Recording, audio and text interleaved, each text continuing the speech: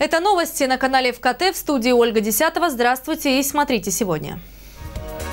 К Ассоциации курортных городов России присоединился Новороссийск. Встреча представителей прошла сегодня в Сочи. Шесть водителей наказаны за присвоение выручки. Итоги года подвели в муниципальном предприятии «Сочи Автотранс». В детском саду номер 80 появилась новая спортплощадка. Место для подвижных игр оборудовали благодаря помощи депутатов.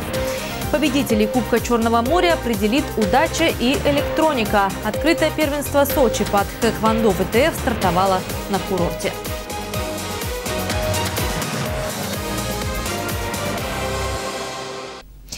Отдых как работа. В Сочи проходит четвертый международный туристский форум. Представители отрасли, мэры курортных городов и региональные власти думают о том, как победить в битве за отдыхающих, особенно когда на свои берега все чаще заманивает Турция. Кубань как главный конкурент рассчитывает в этой борьбе держать верх. Что для этого придется сделать, узнаем из нашего следующего сюжета. Паломнические экскурсии в Керчь, незабываемые путешествия в Воронеж, промышленный туризм в Ижевске. В этих павильонах, кажется, предлагают самые необычные и эксклюзивные виды отдыха. Четвертый международный туристский форум открылся сегодня в Сочи. Для индустрии одно из главных событий года. И в особенности для Краснодарского края, где есть горы, два моря и тысячи гостиниц. Сделать курорты Краснодарского края лучше мы можем только все вместе, не делясь на э, того, кто это будет делать, не будет делать, э, чья это компетенция, чья это прерогатива или ответственность, и туроператоры, и представители власти, и представители санаторно-курортного комплекса. Мы все вместе можем сделать наши курорты лучшими в мире. У нас для этого есть все возможности.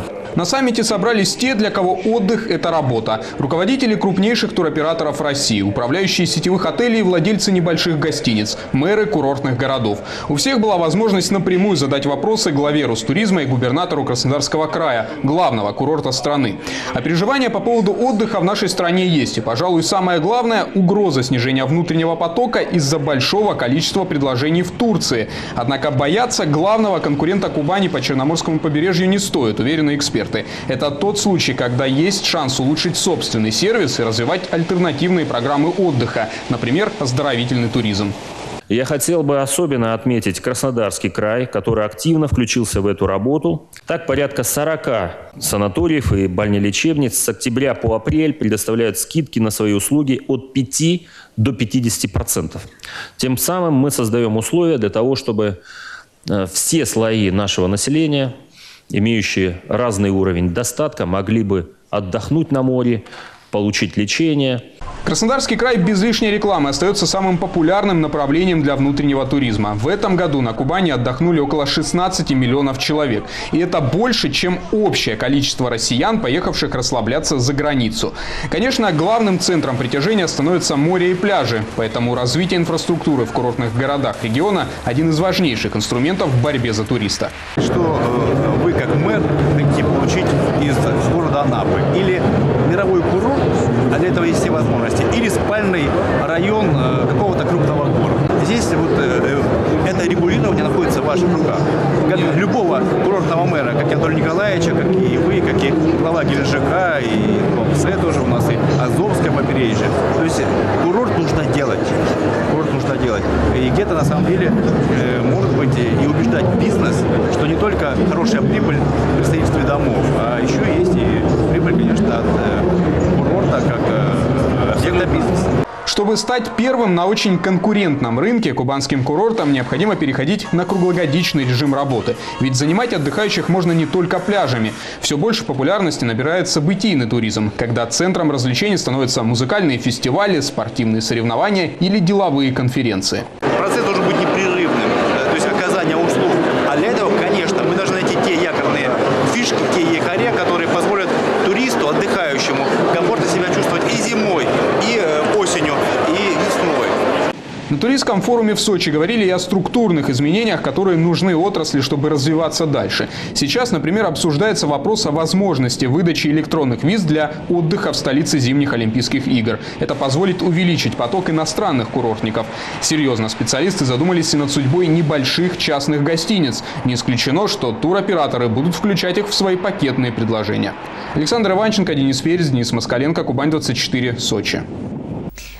Помимо деловых и пленарных мероприятий в рамках Международного туристского форума прошла и пресс-конференция о въездном туризме, интуристах в Сочи, безопасности на курортах Краснодарского края, электронных путевках. С журналистами говорили руководитель Федерального агентства по туризму, губернатор Кубани и глава города Сочи. Расскажет Инга Габешая.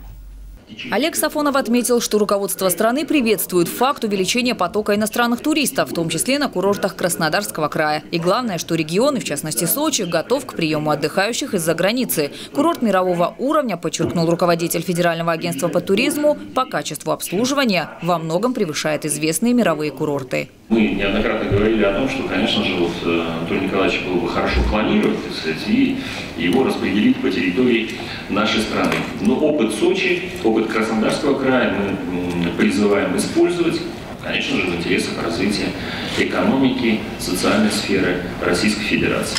Сегодня, кстати, мы говорили о том, каким образом и как вести работу и привлекать в Сочи, в частности, японских туристов, Поэтому эта работа ведется, мы очень заинтересованы в увеличении въездного потока иностранных туристов. И сделаем все, чтобы действительно как можно больше иностранцев приезжало а, в город Сочи. В целом в Краснодарский край. Работает над увеличением въездного туризма и сам регион, добавил губернатор Краснодарского края. Реклама, регулярное транспортное сообщение – все эти вопросы решаются. Но присоединиться к работе необходимо и санаторно-курортному бизнесу, который, в отличие от тех же туроператоров, занимает пассивную позицию, говорит Кондратьев. Мы не говорили, что падает э, у кого-то там поток туристов, отдыхающих. Я думаю, что если бы он падал, они были более активны.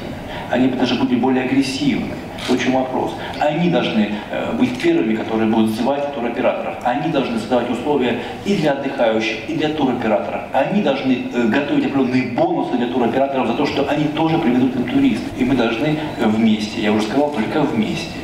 И российского туриста здесь сохранить, и отдыхающего, и приумножить. Ну а иностранного это, это огромный труд, но он тоже совместный.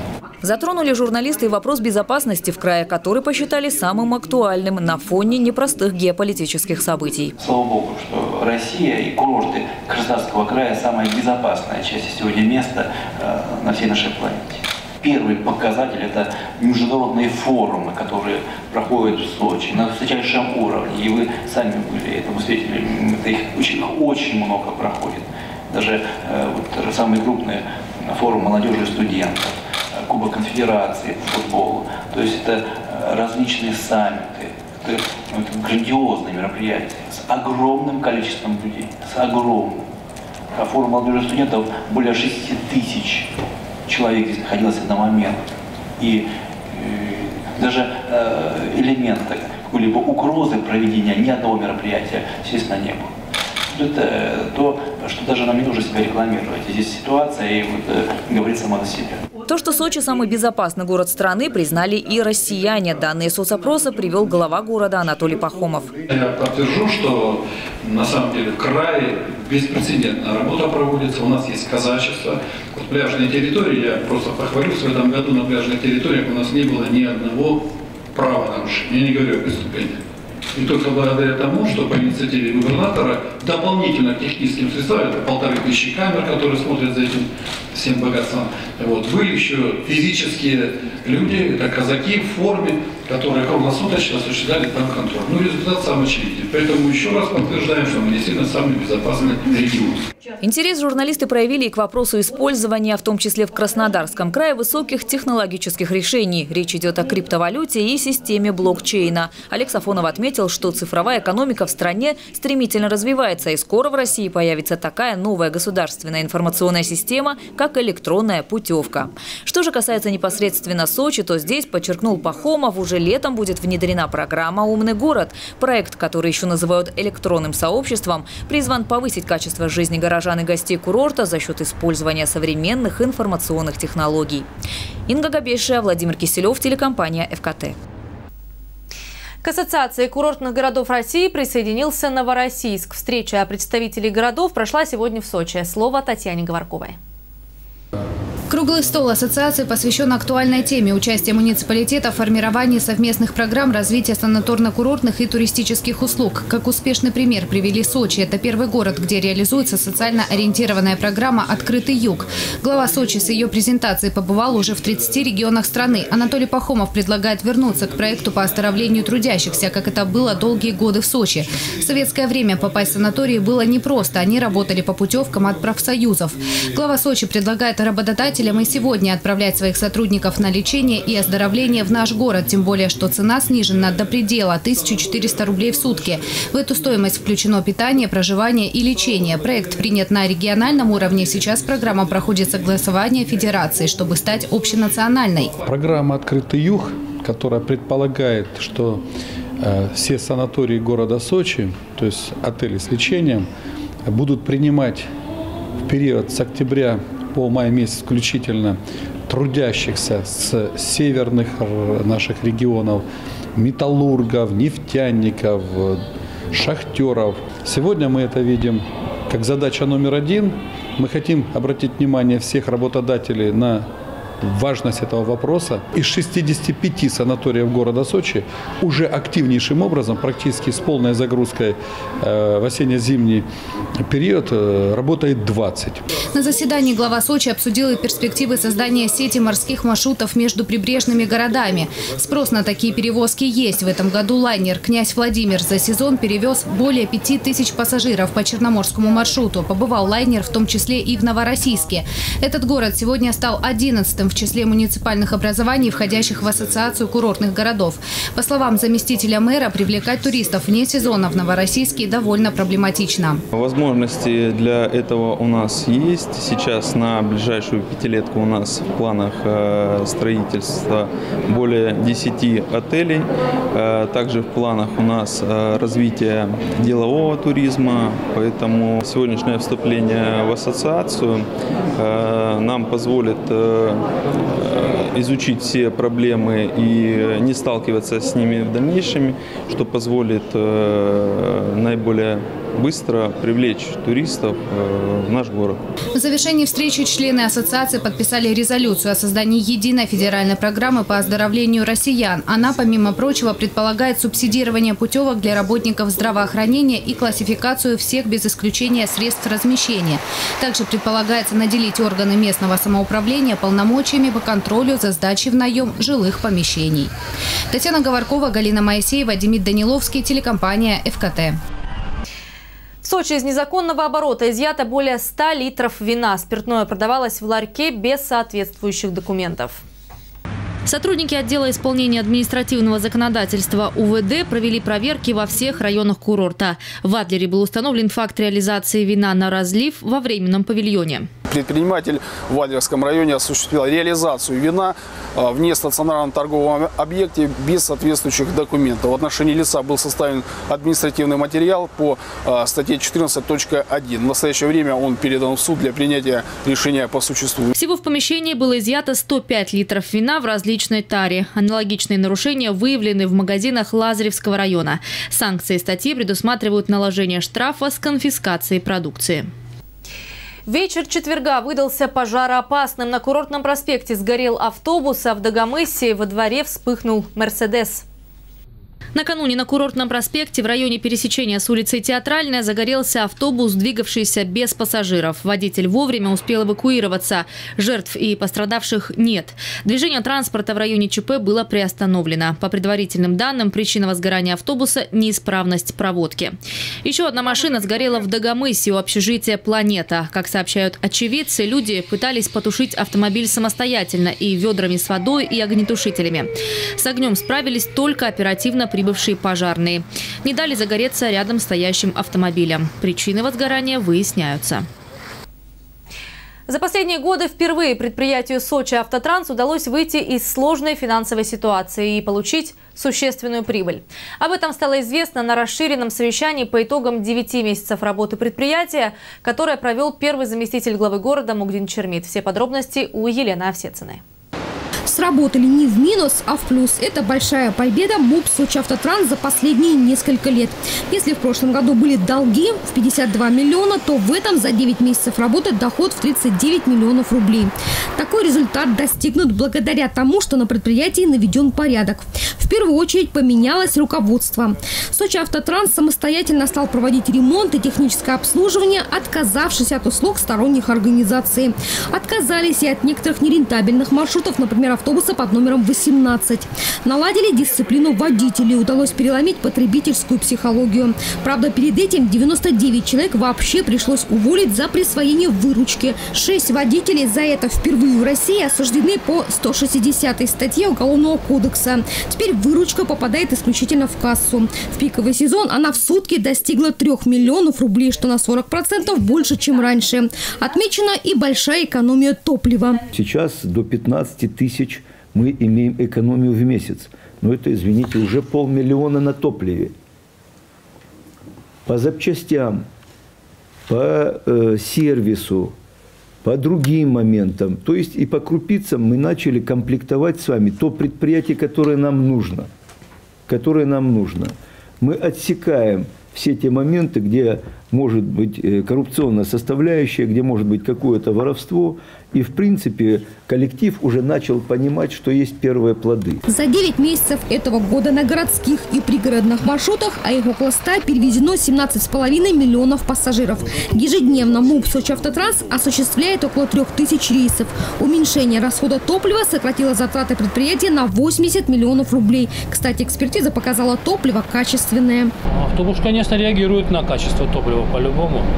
Я как бы не специалист великий по топливу, но по автобусу ну, ездит. По крайней мере, не ломается пока еще. К сожалению, не все автобусы в идеальном состоянии. Наблюдается старение парка. Подвижной состав имеет пробег с начала эксплуатации 300-450 тысяч километров, а в некоторых случаях доходит до полумиллиона. Я проверяю любую тягу. Она ответственна за повороты влево-вправо руля и колес. И хотя у этого транспортного средства рулевая тяга в порядке, вопрос о закупке нового транспорта уже поднят. Планируется купить в кредит 50 новых автобусов. Как пообещали руководители всех структурных подразделений предприятия, работа над оказанием автотранспортных услуг будет день ото дня только улучшаться. Елена Овсецина, Демид Даниловский, телекомпания ФКТ. От науки к практике. Новейшие технологии пищевой и перерабатывающей промышленности показали сегодня главе региона. Вениамин Кондратьев посетил первый на Кубани инжиниринговый центр. Работает он на базе технологического университета. Там ученые и студенты разрабатывают проекты, аналогов которым в стране нет. Например, в стенах этого центра придумали оборудование для производства масла из кукурузного зародыша и рисовой крупы, которое потом идет на экспорт. Показали губернатору и пищевые линии по изготовлению мороженого и специальную машину по обработке и сортировке чая. Получается, что можем наш краснодарский чай так обработать, что он не хуже будет ни по товарному виду, ни по качеству в сравнении. Если вот мы сегодня говорим, что мы хотим уйти от сырья, конечно, нужны перерабатывающие линии, современные перерабатывающие линии. Ну, вы правильно сказали, что, к сожалению, пока, я надеюсь, пока, пока. в России у нас э, много не производится из этих э, перерабатывающих линий. Я очень надеюсь, что, конечно, э, это следующий буквально шаг для того, чтобы на самом деле наш регион ушел от сырья и пришел к переработке максимально, потому что без ну, вот этих вот пищевых линий, без э, таких агрегатов, по большому счету, станков, как бы мы их не называли, это просто сделать будет невозможно. Инжиниринговый центр на базе Кубанского политеха работает с 2015 года, а все новейшие разработки в области промышленности пользуются высоким спросом, рассказали главе региона. При этом больше всего заказов поступает от сельскохозяйственных предприятий и перерабатывающих заводов наше высшее учебное заведение, технический университет, носит прикладной характер, то есть прикладное значение в жизни. Это очень важно. Это не просто наука, оторванная от жизни, которая развивается сама по себе, по своим законам.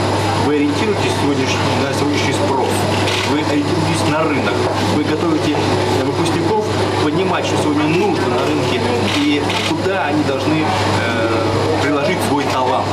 Это самое главное, что сегодня я увидел в стенах технического университета. Отмечу также, что проект по созданию инжинирингового центра на Кубани поддержал Минпромторг России, а его инновационные разработки представляли на крупнейшей федеральной выставке технических достижений науки. В детском саду номер 80 появилась новая спортивная площадка. Место для подвижных игр оборудовали благодаря помощи депутатов городского собрания Сочи по 12-му избирательному округу. Там, где раньше был пустырь, теперь просторная спортивная площадка. Сегодня на улице холодно, поэтому она пуста. А обычно здесь играют в футбол и волейбол. Дети с нетерпением ждут, когда установят баскетбольные кольца. Площадку открыли 1 сентября, и с тех пор это место стало одним из самых любимых у воспитанников детсада и начальной школы. Мы обратились э, к депутату Глазырину Геннадию Михайловичу с просьбой о помощи. И эта помощь нам пришла. И в этом году на месте пустыря у нас появилась спортивная площадка для детей детского сада и начальной школы. Первые уроки физкультуры 1 сентября для детей это был праздник. То есть с криками восторга дети забегали на эту площадку и занимались вместе с учителем. С депутатами 12 округа городского собрания Сочи детский сад номер 80 связывает давняя дружба. Здесь народные избранники сделали немало добрых дел. Самое из затратных – это долгожданный ремонт крыши. Полностью заменены панорамные окна в коридорах, уложен кафель. Мой э, участок, так сказать, выборный. Здесь избиратели, которые голосовали за меня. И потому уже десятилетия мы, я поддерживаю вот этот э, начальную школу, детский сад. Само здание, оно, конечно, постоянно требует ремонта. Оно, э, в общем-то, давно капитально не ремонтировалось. Но текущий ремонт многолетний мы поддерживаем. И участвовали в замене полов, э, окон. На этом сотрудничество с детским садом не заканчивается. Директор с депутатом городского собрания Сочи уже намечают новые планы. Ближайший к реализации – ремонт прачечной. Повторный выпуск на территории Кавказского заповедника самки леопарда Виктории может быть осуществлен не раньше середины декабря. К такому выводу пришли члены рабочей группы в рамках заседания, которое состоялось в Минприроды России. Всесторонне исследовав ситуацию, специалисты пришли к выводу, что снова выпустить Викторию в дикую среду можно только после тщательного наблюдения за ее эмоциональным состоянием, а также получения результатов повторного медицинского обследования.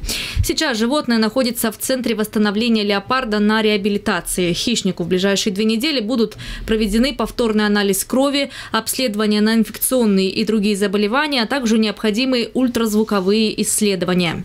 Напомню, в ноябре самка Виктория вышла к абхазскому селу Лыхны, где некоторое время питалась курами с частных подворий жителей. Животное было оперативно поймано.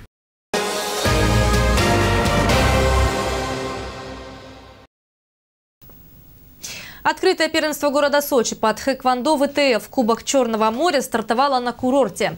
Мероприятие проходит всего второй раз, но популярным уже стало даже в иностранных государствах. Помимо сильнейших российских команд на сочинский турнир съехались тхэквондисты из Узбекистана, Армении и Осетии.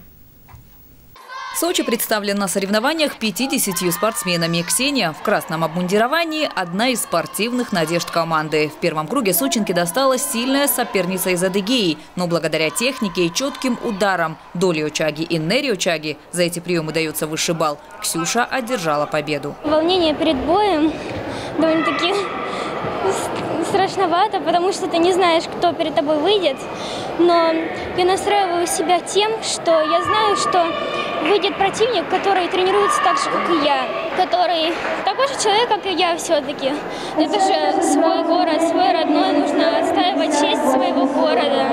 Это более ответственно. Тренирует Ксению Макущенко Вадим Бадалян, президент Федерации тхэквондо города Сочи, которая совместно с городским департаментом спорта и стала организатором открытого первенства. Команда города Сочи представлена 50 спортсменами, где-то ну, чуть больше. Ребята готовы, максимально постараемся, так как с одной стороны стены помогают родного дома, с другой стороны довольно-таки серьезно мы готовились, э, старались, э, чтобы они шли правильной дорогой, вели здоровый образ жизни, чтобы они ценили дружбу, честь, достоинство.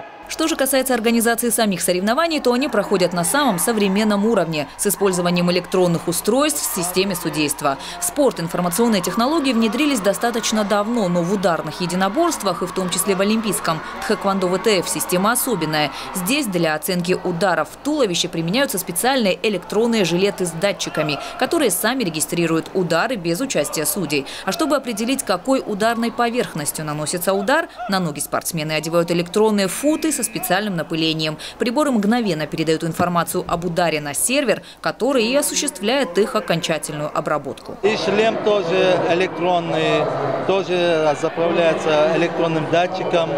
Это касание ногой оценивается 3 балла. Вот. Если касание в жилет, живот, жилет оценивает 2 балла. Если с разворота за сложность технику 1 балл добавляется в корпус.